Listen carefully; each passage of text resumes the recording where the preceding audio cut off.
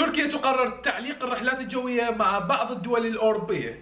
مرحبا أصدقائي وياكم حارث المهندس. مثل ما نسمع بالأخبار منذ يوم أمس آه، انتشار مرض فيروس كورونا الجديد والسلالة الجديدة من مرض فيروس كورونا واللي تنتشر بصورة جدا سريعة في أوروبا.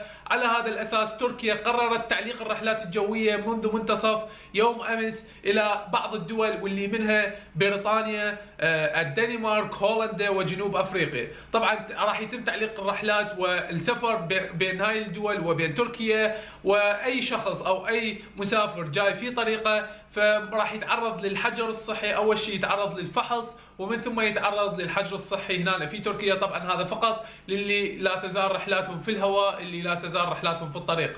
أما بعد هذا فراح تتوقف جميع الرحلات القادمة من آه، هولندا من الدنمارك من بريطانيا ومن جنوب أفريقيا. واحتمال كبير جدا خلال هاي الأيام إنه تنضاف دول ثانية إلى هذه القائمة آه، وتركيا تمنع السفر مع هذه الدول. مثل ما تعرفون كذلك دول أوروبية ثانية 20 دولة أوروبية آه، وقفت السفر مع بريطانيا بسبب انتشار مرض فيروس كورونا منها مثلا إيطاليا آه، آه، بلجيكا مثلا يعني الدنمارك هولندا. وقفت السفر مع بريطانيا بسبب هذا الانتشار الجديد اللي حصل واللي دا يصير في في بريطانيا ودا ينتشر بصورة جدا سريعة. مثل ما سمعنا من الأخبار إنه هذا الكوفيد الجديد اللي هو ينتشر بصورة أسرع ب 70% من الكوفيد الاعتيادي والعالم كله خايفين من هذا الشيء؟ وصل لليابان وصل للصين. فالعالم شوي يعني هاي الفترة المقبلة ممكن راح تكون فترة حرجة بسبب مثل ما تعرفون هم حاليا أصلا يلا دا يريدون يبلشون يعطون اللقاح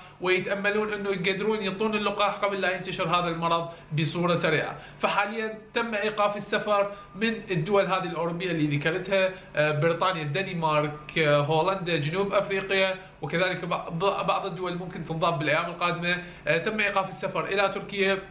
واي شخص وافد من هذه الدول خلال هذه اللحظات اللي هم يعني جايين بالطريق فراح يصير عندهم فد فحص بالمطار ومن ثم مثل ما تشوفون هنا هذا في مطار اسطنبول يفحصوهم ومن ثم ياخذوهم للحجر الصحي هذا الحجر اجباري ما تقدرون يعني تتوا يعني تتلافوا لازم تروحون وياهم للحجر الصحي وراح تبقون 14 يوم ومن ثم إذا ما بكم أي شيء فتطلعون وتعيشون حياتكم بصورة طبيعية في تركيا. والخبر الثاني أيضا إنه قررت المملكة العربية السعودية تعليق جميع الرحلات الجوية آه، لكل الدول لمدة أسبوع وبنفس الوقت غلق المنافذ البحرية والبرية لمدة أسبوع قابل للتجديد.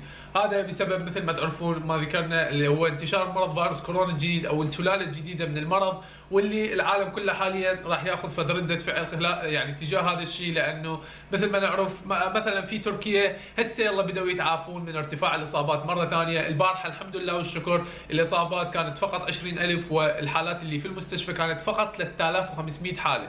يعني رقم جدا جيد آه، التدابير الأمنية القيود المنع التجول جاب نتيجة. فهسه ما بيريدون يحافظون على هذا التقدم اللي دا يصير ما يريدون يرجعون مرة ثانية يعانون وخصوصا إنه مثل ما تعرفون آه، يعني هذا الفيروس الجديد إنه ينتشر بصورة جدا سريعة فراح ترتفع الإصابات بصورة جدا كبيرة وهذا الشيء إحنا ما نريده. وإن شاء الله يا ربي عن قريب إنه نحصل هذا اللقاح ونخلص من هذا الموضوع.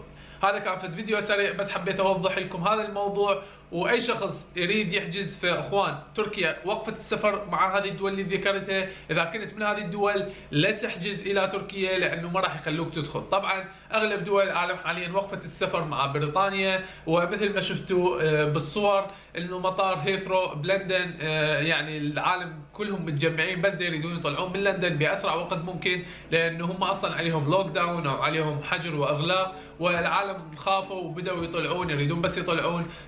فقاموا يروحون يتنقلون إلى مدن أخرى أو إلى دول ثانية. طبعا أغلب الدول حاليا وقفت السفر مع بريطانيا.